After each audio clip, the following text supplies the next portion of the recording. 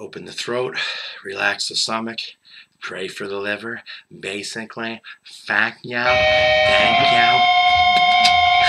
you.